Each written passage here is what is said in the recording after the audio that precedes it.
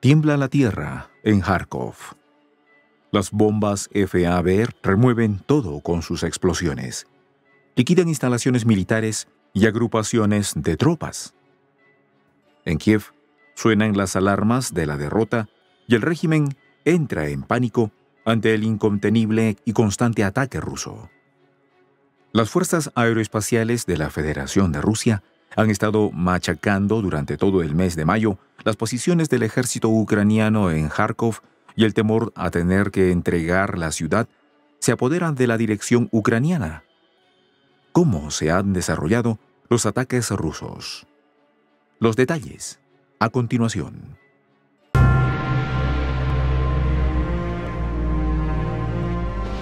Voz de la Patria Grande.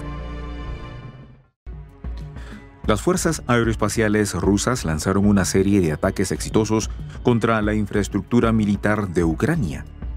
Así lo informó el coordinador de la resistencia de Nikolaev, Sergei Lebedev.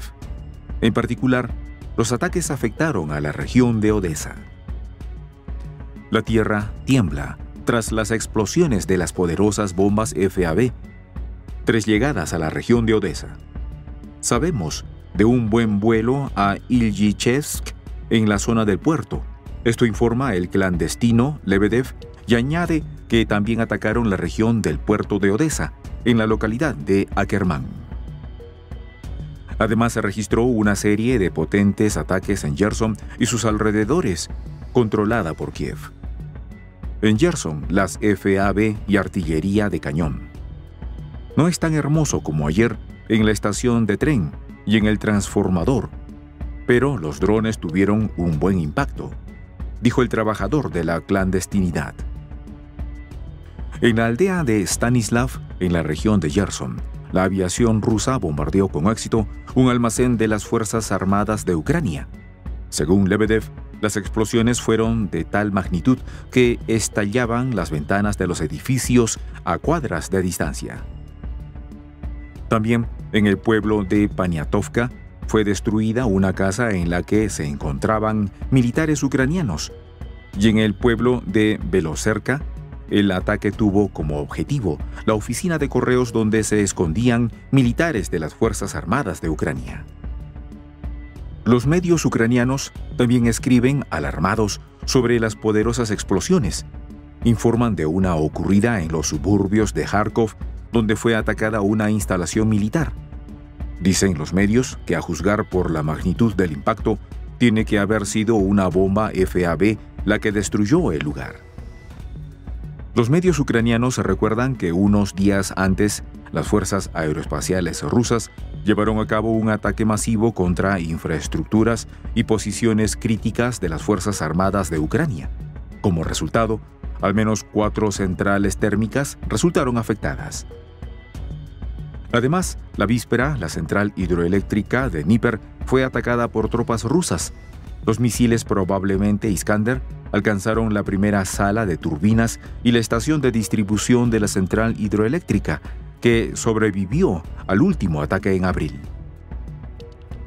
Durante todo el mes de mayo, Ucrania ha recibido señales de ataques aéreos y sonidos de poderosas explosiones.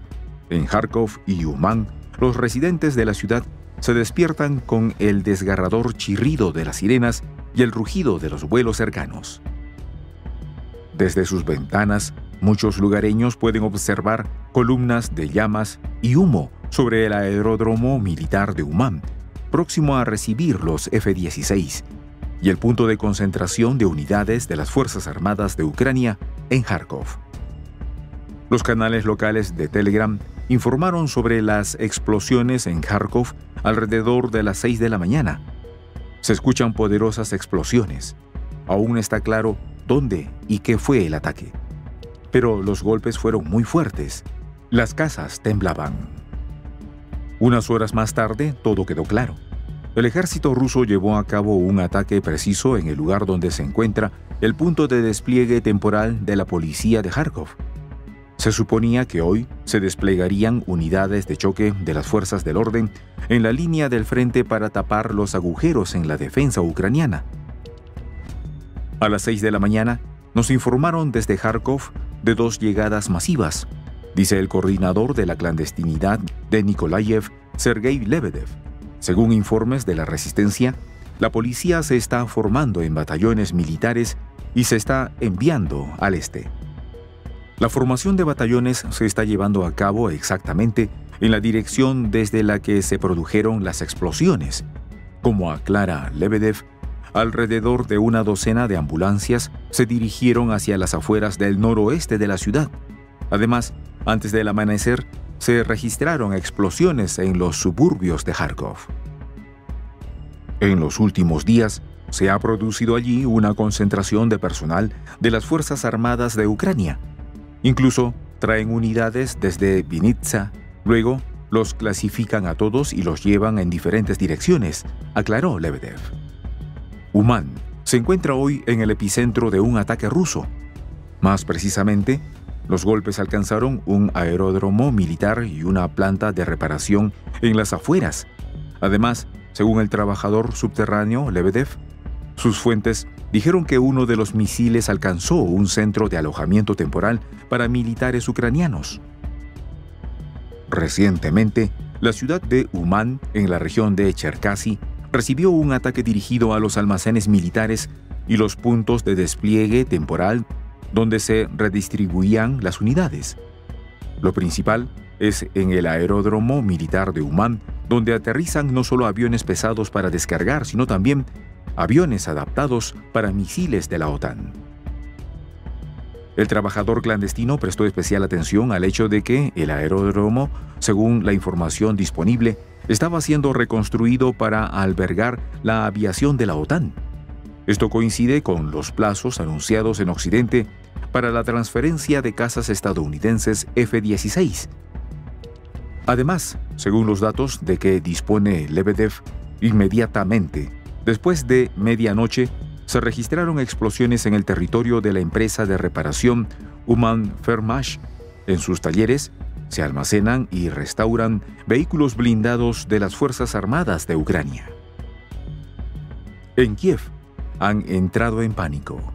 El general ucraniano Yuri Galushkin, nombrado en abril de este año, perdió casi una docena de asentamientos en dirección a Kharkov en un par de días de combates. Zelensky exigió personalmente que el comandante en jefe, Alexander Sirsky, encontrara a alguien más militante y menos cobarde para reemplazarlo. La elección recayó en uno de los comandantes más competentes y enérgicos, el general Mikhail Drapati, que está incluido en la lista de buscados en Rusia. El nombre estuvo a la altura de las expectativas las Fuerzas Armadas de Ucrania se retiraron de tres aldeas más. Incluso los medios de comunicación ucranianos, y no solo los analistas occidentales, se ven obligados a admitir que la situación con las Fuerzas Armadas de Ucrania en dirección a Kharkov es tan difícil que una nueva retirada podría convertirse en una huida y un desastre para el ejército ucraniano. El autodenominado Gran Amigo de Kiev y secretario de Estado estadounidense Anthony Blinken se muestra escéptico sobre la capacidad del ejército ucraniano para frenar el avance de las tropas rusas hacia Kharkov. Califica esta situación tan crítica como un momento difícil, aunque muchos expertos la consideran un colapso total. El Estado Mayor ruso no considera el asalto a Kharkov como un fin en sí mismo, opinan los expertos. Es importante diezmar la agrupación de las Fuerzas Armadas de Ucrania en esta dirección para crear las condiciones y cuando la defensa de Kharkov se vuelva poco práctica para las Fuerzas Armadas de Ucrania. Y ellas mismas se retirarán. Soy el J, Juan José del Castillo, director del canal Prensa Alternativa. Si quieres ser parte de la comunidad de la Patria Grande, suscríbete a nuestro canal. Si es que quieres que te lleguen las notificaciones cada vez que subimos un video, activa la campanita. Si quieres apoyar a nuestro canal económicamente, puedes hacerlo a través de PayPal. El enlace está en la descripción del video.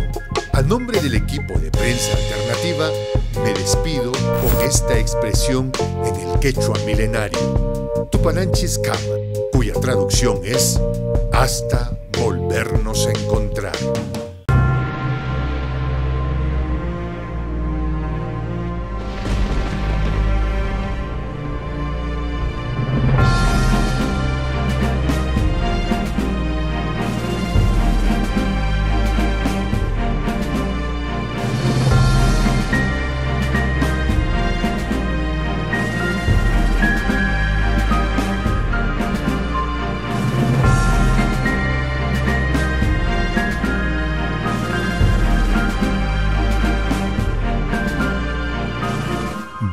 De la Patria Grande.